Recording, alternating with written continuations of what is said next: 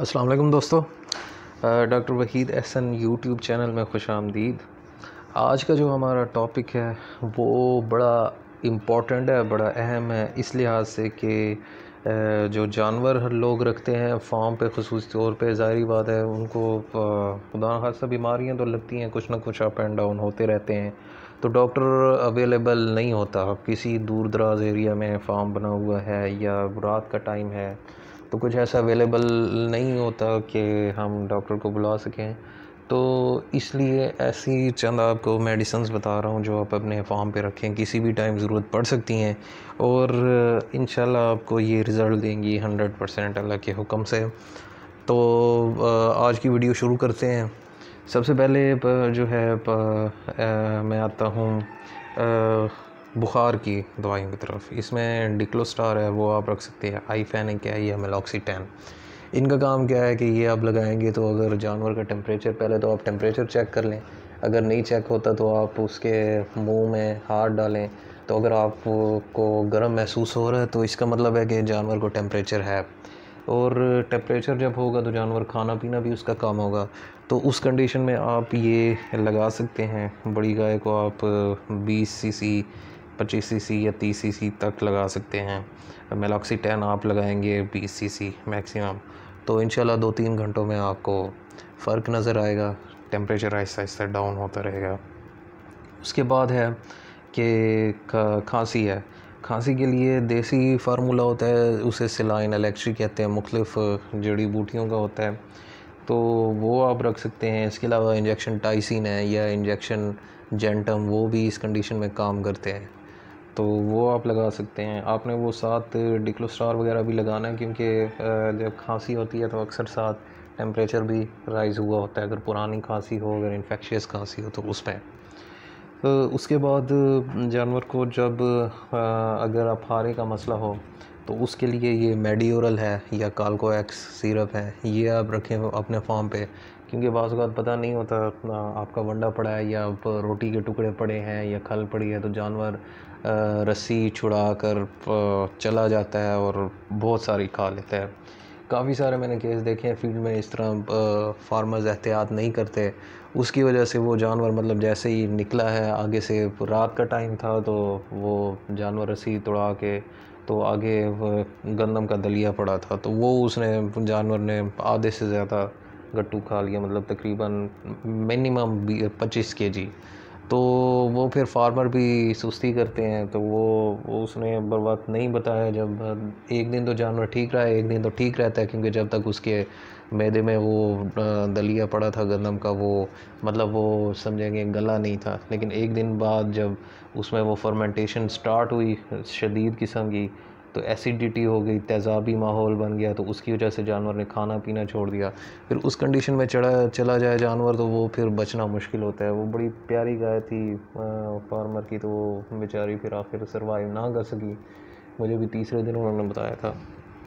खैर तो ये आप मेडियोरल रखें कि इंस्टेंट डॉक्टर नहीं आ सकता रात को तो इंस्टेंटली आप दे दें ताकि कुछ ना कुछ उसका कम हो जाए मतलब वो उस लेवल की जहर बाद ना पहुँचे, फिर सुबह आप डॉक्टर को बुला लें। इसके अलावा अगर पेशाब नहीं आ रहा जनरली तो आप उसके लिए अगर जैसे बछड़ा है या कोई गाय वगैरह है तो उसको आप ये लासिक्स लगा सकते हैं, अगर पेशाब काफ़ी देर से नहीं आ रहा। लेकिन पहले आप ये चेक करें कि आपने जानवर को पानी पिलाया है या नहीं पिलाया। बहुत काम, पानी कम पिलाएँ तो उसकी वजह से भी जो है वो पेशाब नहीं आता। ज़ाहिर बात है, जब जिसम में पानी नहीं जाएगा तो वो फिर पेशाब की सूरत में एडिशनल निकलेगा भी नहीं। उसके बाद बाज़ात जानवर सू नहीं सकता तो उसके लिए ऑक्सीटोसिन है इंजेक्शन वो आप रख लेंगे। अगर जानवर की जो प्रेजेंटेशन है, जो बच्चा है उसके अंदर, उसकी अगर वो टांगे और सर आगे आया हुआ है, लेकिन जानवर में इतना ज़ोर नहीं है तो उसे गुड़ खिलाकर साथ ऑक्सीटोसिन लगा लें। तो इससे भी अक्सर ख़ुद ही बच्चा फिर बाहर निकल आता है। अगर फिर अगली बात है कि अगर आपको ख़तरा है कि गाय गाय या बकरी आपकी वो अबॉर्श अबॉर्ट कर सकती है या जिसे देसी ज़ुबान में, पंजाबी या सराय की ज़ुबान में कहते हैं भाई त्रू पई है। तो उसके लिए आप प्रोजेस्ट्रॉन अपने फार्म पे लाजमी रखें। बड़े जानवर के लिए आप इसे मोस्टली ये होता है थ्री मंथ्स एंड अबव तीन महीने से ऊपर की जो होती है, उसमें अक्सर ये अबॉर्शन का ख़तरा होता है, अक्सर गायों या बकरियों को। तो वो आप लगा दें। बकरियों के लिए एक से दो एमएल और जो बड़ा जानवर है, उसको आप दस एम तक लगा सकते हैं। पाँच से दस एम वेरिएबल है ये, जानवर के वज़न पर डिपेंड करता है। अगली चीज़ आ जाती है कि आपने जो है चिचड़ चिचड़ का बड़ा मसला होता है फार्म पे। तो चिचड़ों को, चिचड़ों से बचने के लिए आपने सैगोवान लाजमी रखना है। सैगोवान इसमें ट्राईक्लोरोफॉन होता है और ये बड़ा अच्छा है। अगर आप जानवर के ऊपर स्प्रे भी कर देंगे तो जानवर को कुछ नहीं होगा, चिचड़ वगैरह या जो भी मक्खियाँ वगैरह वो मर जाएँगी। या दूसरा डेल्टा मैथ्रीन है आई डेल्टा वगैरह के नाम से आता है तो वो उसका भी आप स्प्रे करें। सौ एम आप छियासठ लीटर में मिला सकते हैं। और सैगोवान जो है, वो आप डेढ़ ग्राम जो है आपने एक लीटर में मिक्स करना है। अगर आपके पास वैसे बेहतर रिज़ल्ट अगर आप चाहते हैं तो आप तकरीबन पंद्रह ग्राम जो है वो छः लीटर में मिक्स करें, या जो डेढ़ ग्राम है वो आधे लीटर में मिक्स करें तो आपको बेटर रिज़ल्ट मिलेंगे।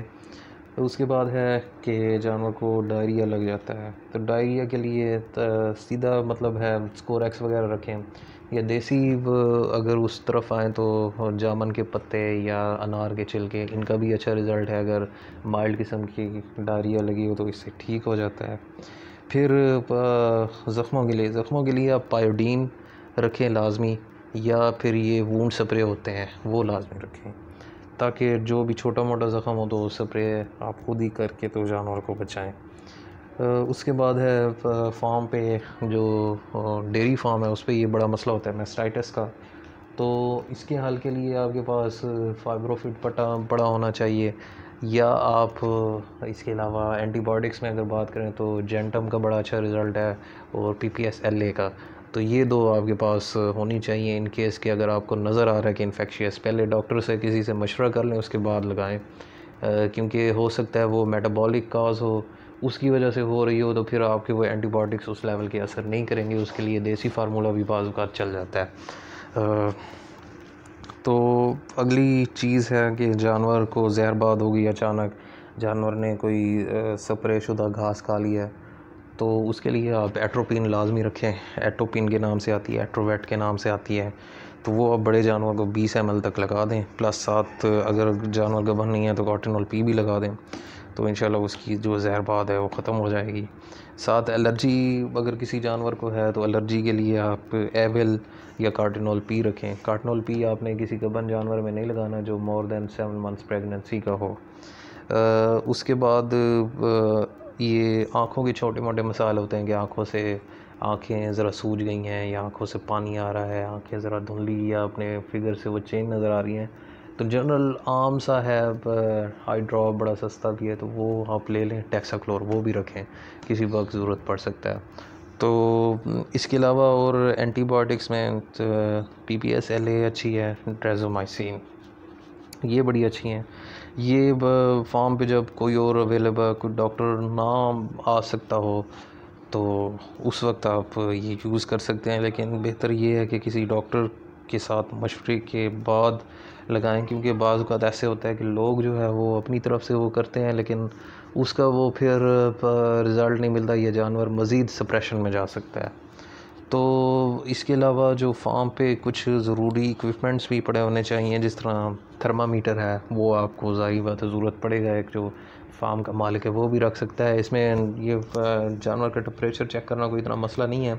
इसके बारे में भी वीडियो मैं अपलोड करूँगा, जिसमें आसानी से आपको दिखा सकते हैं कि कैसे आप जानवर का टेम्परेचर ले सकते हैं। इसके अलावा बीड़ी सरेंज होनी चाहिए, ताकि आप इंजेक्शन वगैरह लगा सकें उससे।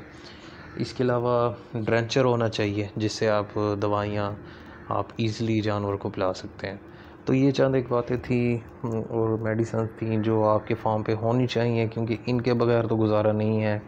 अगर ख़ास तौर पे उस वक्त जब डॉक्टर अवेलेबल ना हो या डॉक्टर को आने में देर हो या रात का टाइम हो एमरजेंसी कंडीशन हो तो उम्मीद है आपको वीडियो पसंद आई होगी। इसके अलावा अगर आप कुछ जानना चाहते हैं तो वीडियो के कमेंट सेक्शन में कमेंट करें।